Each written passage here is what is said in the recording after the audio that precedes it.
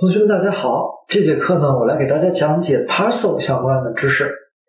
Parcel 呢是和 Webpack 相类似的一个打包工具，但是它不需要做额外的过多的配置，所以用起来非常的简单。之前的一节课呢，我们使用 Module 的时候，或者说是 Import 的时候，我们发现自己要去使用 Require.js 这种方式呢是比较麻烦的。那么我们来看，使用 Parcel。配合我们 TypeScript 怎么去编写我们的项目代码呢？实际上它会变得很简单。现在的桌面上我创建了一个 TypeScript 的这样的空目录，打开它，然后呢，我去做一些初始化，在项目的目录下我运行 npm init 杠 y 回车，然后清一下屏。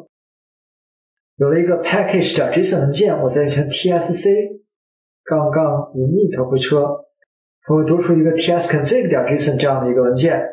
那我创建一个目录叫做 src，我打开 tsconfig 点 JSON 这块的配置，找到我们下面有一个这样的一个配置根路径的一个地方，叫 root dir，我们写成 src。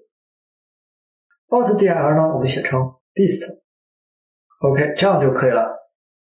然后啊，我在 src 目录下去创建一个文件，叫做 index 点 html，这里面去写一个 html 文件可以了。我在里面再去创建一个 ts 文件，比如说叫 page 点 ts 文件，OK，我这写一个 console 点 log 一二三，保存一下。然后我们到 index 点 html 里面去引入这个 page 对应的 ts 文件啊，我们去 script src 等于当前目前的 page 点 ts 保存，保存完了之后，我们可以打开我们的 index 点 html 看一下这个代码能不能正常的运行。我们 review in finder 在这儿，双击打开它，点开控制台。大家会发现啊，现在是能打出一二三的，OK 啊，没什么问题。当然，我这里可以写一些 TS 的语句，比如说我定一个叫 const 叫 teacher string 等于 del，在 TS 语法里这是没有任何问题的。然后 console 点 log 一下 teacher，保存。回到浏览器，我们刷新，它就会报什么呀？报这个呃，出了各种各样的问题配置点 ts 有问题，这是为什么呢？是因为浏览器去运行 index 点 html 的时候，去执行 ts 文件的时候，哎，它不支持 ts 的这些语法，所以有一个编译的过程。之前我们都运行哪一个编译命令啊？运行 tsc，用 TypeScript 默认的这个编译器帮我们去做 TypeScript 语法上的转化。但其实啊，如果我们有一个 Webpack 或者有一个 Parcel，那么我们的代码编写的过程就会更加的简化。这节课给大家讲 Parcel，Parcel 是一个类似于 Webpack 的工具，但是它不需要配置。我们可以在 GitHub 上面找到 Parcel 对应的官方文档啊，叫做 GitHub 点 com Parcel Bundler 下面的 Parcel，我们可以去找一下它的安装使用说明。首先，我们要去安装 Parcel Next。这样的一个工具啊，我们 npm install parcel next 杠大 D，等待两分钟左右呢，我们可以看到 parcel 已经安装好了。然后呢，我们可以在这个 package.json 里面去写这样的一个 script 标签啊。我们在这里使用 parcel 去运行下面的，我们可以运行。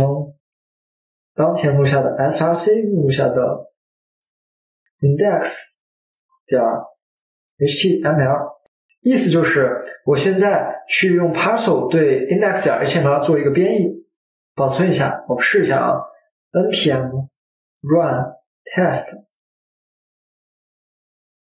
哎，它会帮你自动的起一个 localhost 一二三四这样的一个本地服务器。服务器启动好了之后，我们复制下地址到浏览器上，打开这个服务器地址，paste 回车，一二三四，我们再点开控制台，大家来看，del 就可以被打印出来了。好，也就是说什么呢？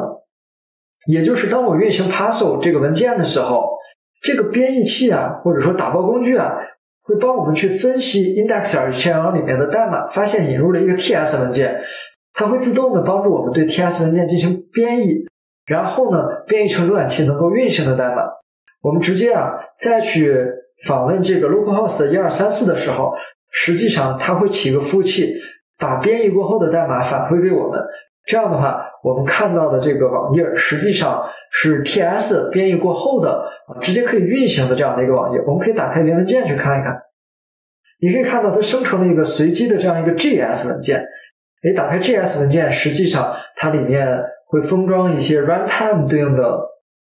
帮助我们运行整个项目的代码，同时也会把我们的业务逻辑代码打包编译进来。当然，还会有一些 source map 的东西在里面。总之，大家可以看到，使用 Parcel 去编写我们的代码，我们发现啊，就不用我们自己去引入 require.js，我们只需要去运行 Parcel 这个命令或者 npm run test 这个命令，它就会自动帮我们起个服务器。之后呢，我们直接去改。src 下面的这些文件呢，就会变得很简单。这里你继续写各种各样的 TS 的代码都没有任何的问题。那关于 Parcel 的更多内容呢，大家可以自己去翻阅 GitHub 上面 Parcel 相关的文档。现在大家可以看一些博客也好看一些业界的分享也好，你会发现 Parcel 其实发展的也非常的快，它节约了大量的 Webpack 啊潜在的配置项啊，用起来更舒服。当然呢，它有一些不完善的地方，也正在改进。所以有兴趣的同学可以看一下 Parcel 详细的内容。那这节课给大家讲 Parcel，主要是为了后面我们去进一步讲 TypeScript 的内容的时候可以方便一些。OK，那这节课就到这儿，大家加油！